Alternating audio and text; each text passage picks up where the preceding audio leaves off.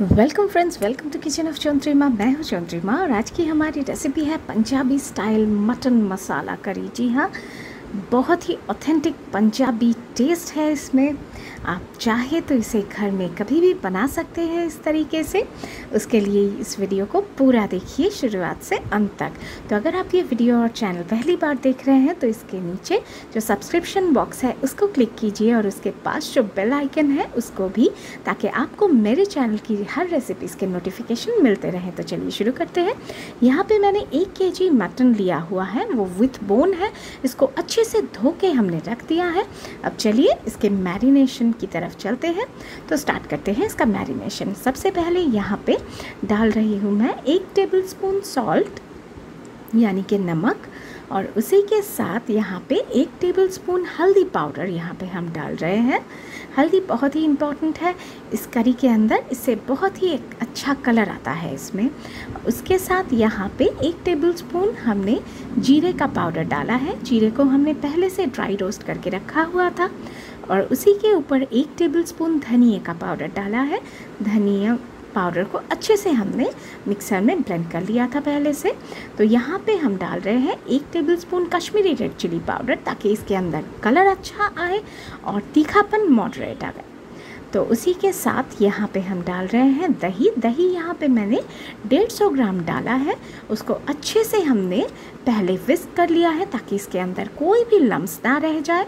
और उसके बाद इसको हमने मैरिनेशन में डाल दिया है। अभी अपने हाथों की मदद से हम इसको अच्छे से मिक्स कर देंगे। आप कोई भी करी अगर बना रहे हैं मटन या फिर कोई भी मीट करी उनको अगर आप हाथों से मिक्स करते हैं तो उसके अंदर जो मसाला है, वो बहुत ही अच्छी तरीके से इन्फ्यूज़ होता है। तो अभी हम इस मैरिनेशन को मिनिमम 30 मिनट तक रख देंगे। आप चाहे तो इसे ओवरनाइट भी रख सकते हैं। यहाँ पे आप देख सकते हैं, मैंने छः से सात मीडियम साइज़ के प्याज को बहुत ही पतला पतला बारीक काट के रख लिया है और उसको मैं हाथों से अच्छे से क्रश कर रही हूँ ताकि जो ग्रेवी है वो पूरी तरीके से इवन टेस्ट करे। तो चलिए, इसके कुकिंग पार्ट की तरफ़ चलते हैं। हमारा मैरिनेशन कंप्लीट हो चुका है। यहाँ पे मैंने एक डीप पैन लिया हुआ है। ताकि हमारा जो मटन है इसमें बहुत ही अच्छे से कुक हो जाए। अभी इसके अंदर हम डाल रहे हैं चार टेबल स्पून वाइट ऑयल आप चाहे तो पूरा ये प्रोसेस घी में बना सकते हैं। यहाँ पे मैंने उसके ऊपर डाल दिया है दालचीनी के छः बड़े बड़े टुकड़े। अब इनको हम धीरे से 30 सेकंड तक ऐसे भूनेंगे ताकि इसके अंदर जो फ्लेवर है वो तेल में निकल के आ जाए। यहाँ पे मैंने पाँच जो हरी वाली इलायची है वो डाल दी है। दस यहाँ पे मैंने लौंग डाल दिए हैं।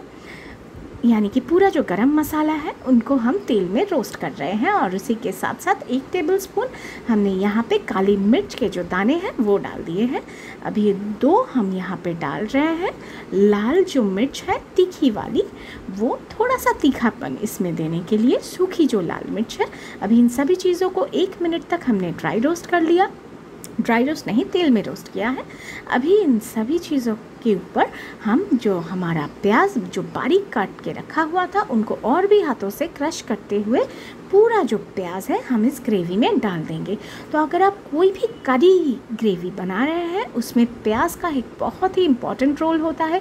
प्याज जो है, वो हर तरफ़ से बहुत ही अच्छी तरीके से भूनना होता है। अभी इनको हम पाँच मिनट तक बहुत ही अच्छी तरीके से मीडियम फ्लेम पे या ऐसे भूनते जाएँगे, आप देख सकते हैं, इसका कलर जब ऐसे पिंकिश आ जाए और इसका जो वॉल्यूम है, वो भी बहुत ज़्यादा कम हो जाए, उसके ऊपर हम यहाँ पे एक स्लाइस किए हुए टमाटर को डाल देंगे। अभी इन सभी चीज़ों को हम तीन मिनट तक मीडियम फ्लेम पे और भी भूनेंगे। ऐसे धीरे धीरे करके आप देख सकते हैं, करी रेडी हो चुकी है, मसाला जो है वो रेडी है। अब इसको हमें एक ब्लेंडर जार के अंदर डाल देना है अच्छे से। अभी हम इसको डाल दिए हैं पूरी तरीके से, इसको हम एक मिनट तक ब्लेंड कर लेंगे और हमारा एकदम फाइन, थिक पेस्ट जो है वो बन के रेडी है। अभी एक पैन के अंदर यहाँ पे हम तीन टेबल स्पून ऑयल लेंगे और दो टेबल स्पून यहाँ पे हम डालेंगे देसी घी के। जी हाँ घी के बिना जो पंजाबी स्टाइल मटन करी है, वो अधूरी है।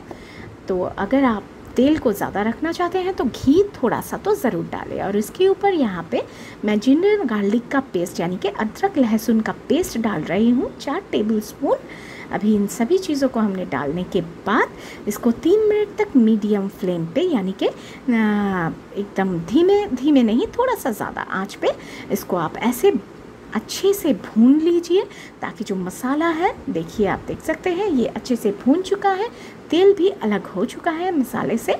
अभी हमारा जो ऑलरेडी प्रिपेयर्ड मसाला है पेस्ट है, जो हमने ब्लेंडर जार में रखा था, उसको भी इसके अंदर डाल देंगे और दो मिनट तक इन दोनों मसालों को हम अच्छे से भून के मिला के रेडी कर लेना है। मसाला हमारा रेडी है और अभी जो हमने पहले से मटन मैरिनेट करके रखा हुआ था, उनको हम इसके अंदर डाल देंगे। बहुत ही अच्छी तरीके से आप देख सकते हैं। इसको हम धीरे धीरे करके पूरा जो मटन है, हम इस ग्रेवी के अंदर डालेंगे और एक कच्ची की मदद से धीरे धीरे करके इस मसाले के साथ पूरा जो हमारा मैरिनेटेड मटन है, इनको हम अच्छी तरीके से भूनेंगे। इसको धीरे, धीमे आँच पे ही आप करें, वरना जो मसाला है और जो मटन है वो जल सकता है।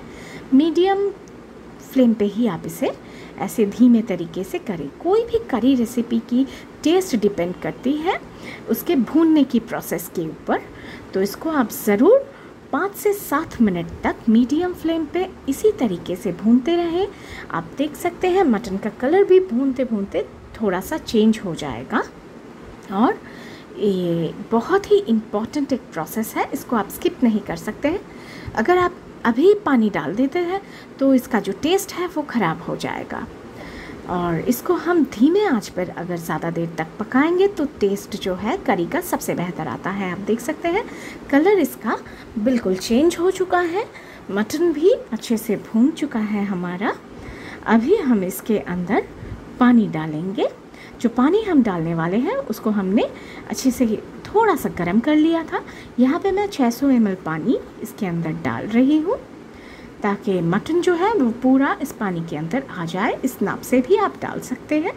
अभी इन सभी चीज़ों को हमें अच्छे से मिला देना है और पानी आप ज़रूर गर्म ही डालें। पानी को नॉर्मल टेम्परेचर में ना डालें। अभी इन सभी चीज़ों को अच्छे से मिला देने के बाद आप देख सकते हैं, इसके अंदर अच्छे से उबाल आ चुका है। अभी इसको हमें ढक के ढक के अराउंड आप 15 मिनट तक इसे पहले एक धीमी आँच पे पकने दीजिए, ताकि जो जो कच्चा फ्लेवर है वो पूरी तरीके से निकल जाए और ग्रेवी देखिए 15 मिनट हो चुके हैं और ये बहुत ही अच्छी खुशबू इसके अंदर से आने लगी है। आप देख सकते हैं, मटन भी अच्छी तरीके से कुक होना शुरू हो चुका है इसके अंदर। बहुत ही अच्छा है। इसको धीमे धीमे करके हम थोड़ा सा इसको ऐसे हिला देंगे और उसके बाद इसको फिर से पाँच मिनट के लिए हमें ऐसे ही ढक के थोड़ा सा और पकाना है ताकि इसके अंदर करी का जो टेस्ट है वो और भी बेहतरीन निकल के आए। अगर आपके पास टाइम कम है तो आप ये पूरा प्रोसेस प्रेशर कुकर में भी कर सकते हैं। पर अगर आप ज़्यादा क्वांटिटी में बना रहे हैं तो आप इस, इसको ऐसे ही बड़े से एक पैन में कीजिए। यहाँ पे मैं एक टेबल स्पून शाही गरम मसाले के ऐड कर रही हूँ इसके अंदर। और उसी के साथ यहाँ पे ड्राई कसूरी मेथी के जो पत्ते होते हैं, उनको हमने हाफ़ कप यहाँ पे अच्छे से हाथों से क्रश करके डाला हुआ है। इसी से जो टेस्ट है, वो बहुत ही ज़्यादा इन्हेंस होता है। आप चाहे तो इसको और 30 से 40 मिनट तक ऐसे ही ढक के पकाएँ। अगर आप ज़्यादा क्वांटिटी में बना रहे हैं, मेरे पास उतना वक्त नहीं है तो मैं इसको प्रेशर कुकर में ट्रांसफ़र कर रही हूँ ताकि ये 15 से 20 मिनट में बन जाए। तो इसको हमें प्रेशर कुकर में ऐसे पूरे करी के साथ, मैंने जो पूरा जो मसाला है, मटन है, उन सभी चीज़ों को प्रेशर कुकर में हमने अच्छे से डाल दिया है। अभी हम ढक्कन को बंद करेंगे। और बस हमें दो सीटी तक मीडियम फ्लेम पे वेट करना है, यानी कि दो जो विसल हैं, प्रेशर कुकर के वो होने तक हमें वेट करना है और इसको ध्यान इस बात का ज़रूर रखिए कि आप इसको मीडियम फ्लेम पे ही कीजिए, क्योंकि करी थोड़ी सी थिक है तो नीचे से ये जल सकते हैं। इसीलिए इसको लो टू मीडियम फ्लेम पे दो सीटी एकदम आराम से लगाने के बाद हमारी आप देख सकते हैं, जो करी है, वो एकदम से बन के तैयार हो जाएगी, यानी कि यही फाइनल स्टेप है।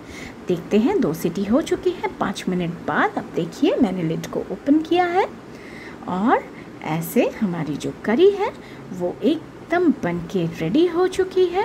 अगर आपको जब, अगर आप प्रेशर कुकर में बना रहे हैं या फिर अगर आप पैन में भी इसको 30 से 40 मिनट तक बना रहे हैं, पानी अगर ज़रूरत पड़े तो थोड़ा सा डालिए। तो अगर आपको ये वीडियो अच्छी लगी है तो ज़रूर लाइक कीजिए शेयर कीजिए और कमेंट करके मुझे बताइए कि आपको ये रेसिपी कैसी लगी। और साथ ही साथ अगर आपने अभी तक सब्सक्राइब नहीं किया है तो जल्दी से जाके सब्सक्राइब कर लीजिए ये चैनल। फिर मिलते हैं एक नए रेसिपीज़ के साथ। Thank you so much for watching this video इसको आप ज़रूर इन्जॉय कीजिए।